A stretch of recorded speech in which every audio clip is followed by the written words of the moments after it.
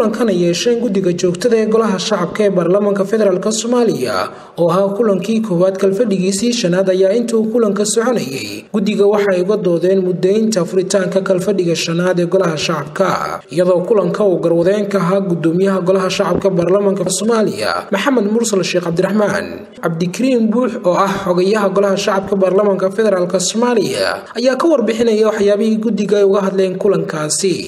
Bismi illaahi araxmaani iraxiim maanta oo khamiis ah waxaa dhacay guddiga joogtada ee golaha shacabka ayaa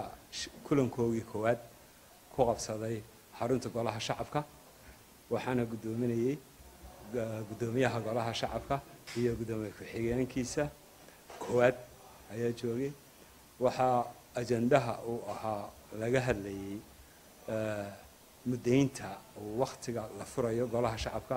waxaana la isku afkartay in ay noqoto toddobiyo labaatanka bishan aan ku jirno ee maarij oo ah maalin arbaco ah. Marka dhammaan xildhibaanada golaha shacabka meel kastoo joogaan waxaa la ogeysiinayaa inuu golahu furmayo toddobiyo labaatanka bishan maarij sidaa awgeed ciddii bannaanka joogta xildhibaanka xildhibaanadii bannaanka joogaana ay soo galaan. Xildhibaanada guduhu joogaana ay ogaadaan inay tahay toddobiyo labaatanka bisha maarij furitaanku waa mahadsan samiir cabdirasaaq cumar wararka telefishinka c n a magaalada caasimadda muqdisho